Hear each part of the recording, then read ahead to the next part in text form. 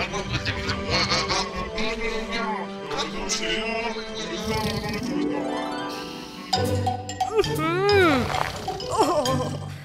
इसे मत फेंको ये मेरा फेवरेट है।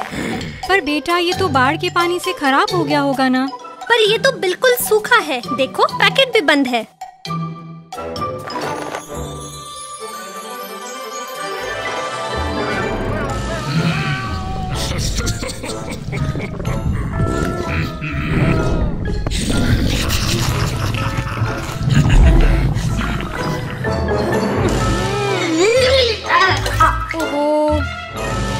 शहरी बाढ़ के बाद बीमारियों का खतरा बढ़ जाता है। बाढ़ के पानी के संपर्क में आया खाना न खाएँ, पानी को उबाल कर ही पिए। नालियों में मच्छर मारने की दवाएँ डालें। और याद रखें बाढ़ के बाद साफ़ दिखने वाला खाना भी खतरनाक हो सकता है।